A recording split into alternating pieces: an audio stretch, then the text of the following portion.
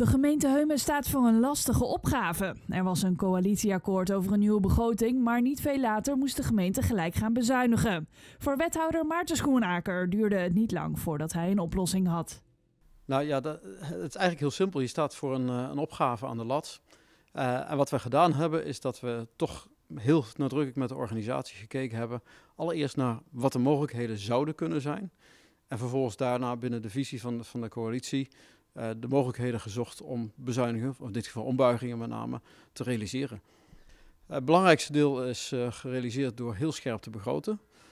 maar daarnaast hebben we ook gekeken naar hoe om te gaan met de energietransitie. En daarvan hebben we gezegd van ja, in wezen wordt het wat, wat het opbrengst, dekt de kosten. Dus daarmee hebben we het uit de begroting kunnen schrappen. De vraag is nu wat dit gaat betekenen voor de inwoners van de gemeente Heumen.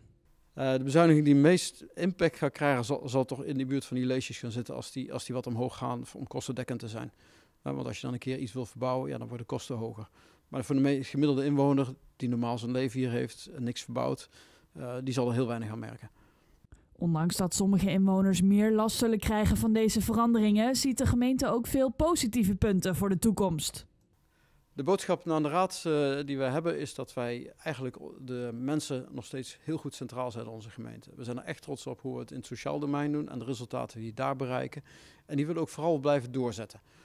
Dat geldt, dat geldt uh, voor de zorg, voor ouderen met name, maar ook voor de jeugd. We zitten, we zitten redelijk goed in budgetten voor jeugd- en ouderenzorg, waar andere gemeenten er best wel last mee hebben. Met name doordat we heel sterk aan de voorkant zitten. Er zijn korte lijnen in deze gemeente. Uh, de, de, mensen kennen elkaar, uh, waardoor we goedkope zorg kunnen inzetten om uiteindelijk hele dure zorg te kunnen vermijden. Uh, daar, daar zitten wij gewoon hard op te sturen en daar gaan we vooral mee vooruit.